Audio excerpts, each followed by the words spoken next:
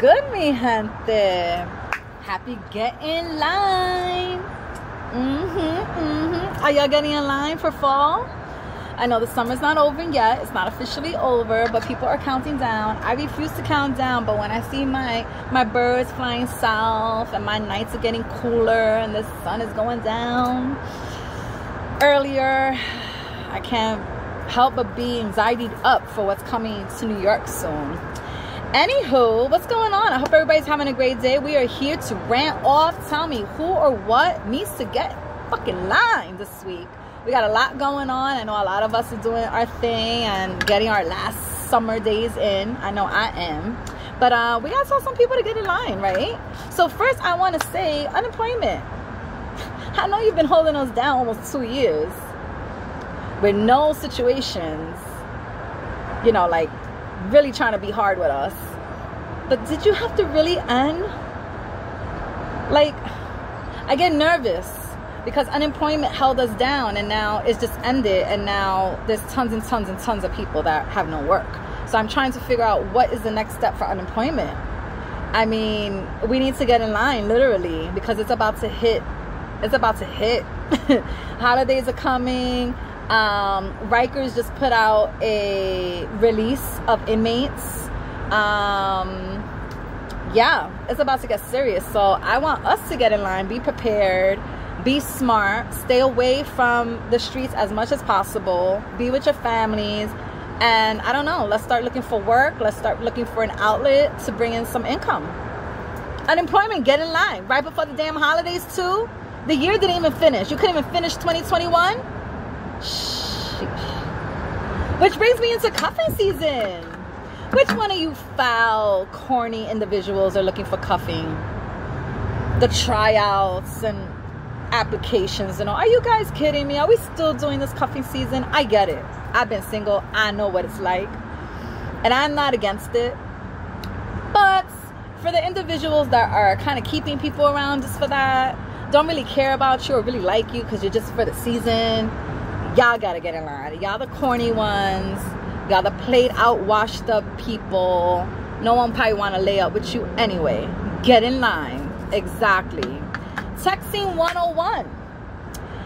So you know how we all converse and communicate through text, video chats, but you know, mostly it's us texting, right? We argue texting, we talk business texting, we say hi texting, we heal each other by texting. We love up on each other by texting. We have sex through texting. I mean, everything's texting, right?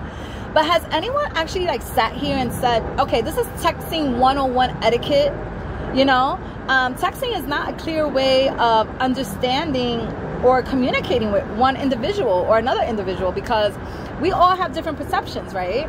So when you hit me up with a text, I may read a complete different way, and the whole conversation will not go as planned because of the, the two perspectives that are texting with each other. And we often sit here analyzing text, reading between the lines of text, afraid to call for rejection. So we text, we do everything on text. Guys, let's find another way to communicate that it's clear with tone, attitude, and what you're saying than typing please get in line with that. Okay? Okay. Kanye West has made my rant again. This Gemini does not want to give up, but I want to put him in line because he thinks that he is dope as shit. And he has his moments. But um, you know, competing with Drake and his album drop, you know, you cutting people off from the album that thought they were gonna be on the album you keep doing like all these premiere listening parties and concerts and the album just keeps being pushed back pushed back and every time the album kind of comes forth again there's being changes i get it production i get it but you got beef mr chris brown ain't with you uh, you putting up drake's address supposedly on instagram or twitter that's a no-go you messing with people you're using people's lyrics or melody without letting them know, giving them their rights, paying them out. Like Kanye West, please get in line. By the time your album comes out, ain't nobody want to hear it. And I have to say, what up, Drake? Congratulations. Um, we all know what you've been coming with all these years, but I think this album for you that dropped on Friday has put you in a new space of respect as an artist, as a rap artist. And congratulations. I mean, the first day you did like eight point something million streams just in a couple of hours. So that says a lot. But I have to tell you to get in line too because I wasn't crazy about your album. There's probably maybe about four to maybe five songs at that that maybe I can comprehend what you're speaking of, or I can rock out as a female. Or even if I don't, I want to be a little gritty. There's some songs there too.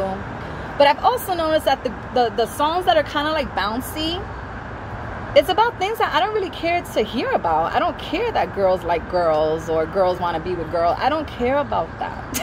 I really don't. Um, who's sexy? Okay, fine. Yeah, you Jake, you keep doing that. But it was a cool, it was a cool album. It was not my favorite. I have to say Nas, Nas. Yeah, get in line if you haven't listened to Nas, or if you even not Nas fan. Also, people that stand too close, people that sit too close, people that want to come up on you too close. There's distance. We did COVID for almost two years now, and we still have people in your space. Why? I get that in other countries. Maybe everybody is on top of each other, and it's like a safety net when you get to the States. But let me tell you something the United States, New York, especially the BX, don't like to be crowded up on.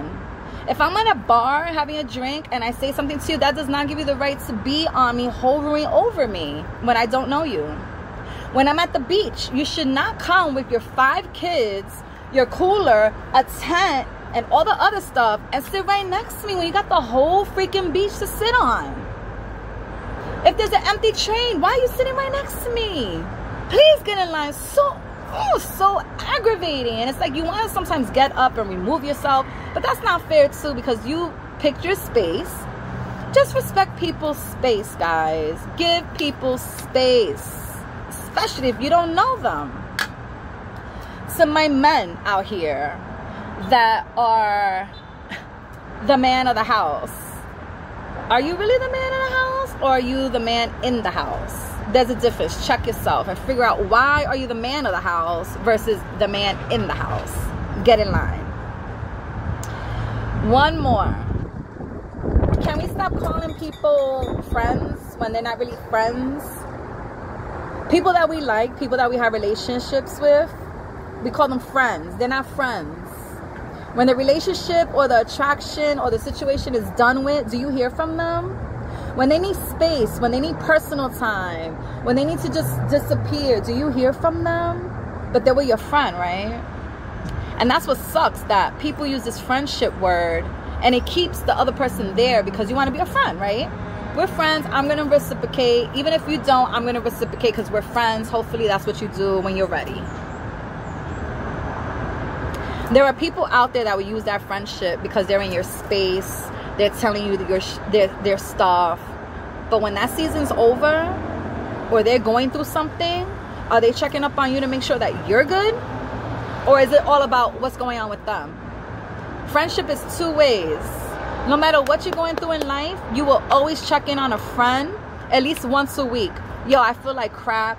I'm not with it. I'm in mourning. I'm in healing. I'm busy. I'm working. I just want to check in with you to make sure you're good be friends with people that want to be friends with you and be not friends with the people that are not your friend. You got that?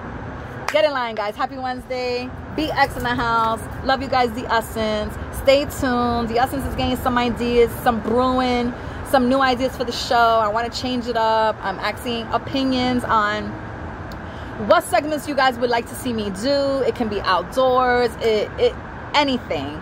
I'm actually thinking about something with this texting thing too um, because I can imagine how many stories people have regarding a text message that probably has turned into something completely outrageous by the time both people are, you know, communicating through the text because of what we're thinking, just how it just goes wrong. But anyway, have a great day. Enjoy the rest of your week. It's your girl, D'essence. Get in line and uh, be good. Love you guys.